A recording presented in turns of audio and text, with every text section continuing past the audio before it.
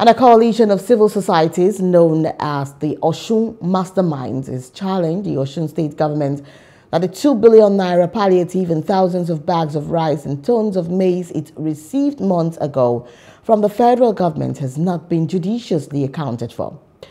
The group demanded accountability from the state government over the palliatives as well as the increased monthly allocations it has been receiving from the federal government in recent times. Speaking during the February edition of the State of Address in Osogbo on Tuesday, the group said the Osun government is not seeming to be taking proactive steps to assuage issues of economic plight and food insecurity affecting residents of the state. According to the executive director of the group, Professor Wasiu Oyedokun Ali, he noted that the state government, through its Ministry of Agriculture, ought to have devised means to address food insecurity in the state as a sign of sensitivity to the current economic realities.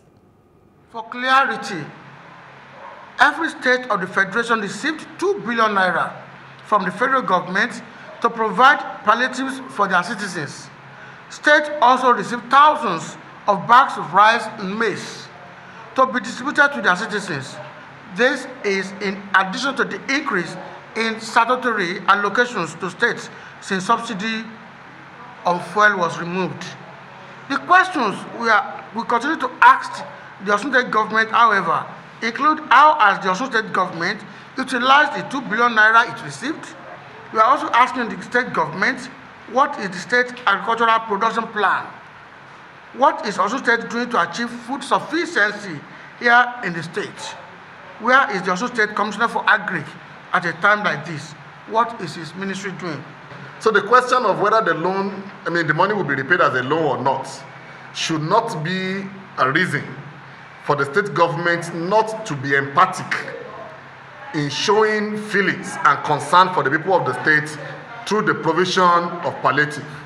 Till today, apart from the Malede boss and the uh, wage award of 15,000 if I'm not wrong, there has been no intervention by the Osun state government as it directly affects the people of the states.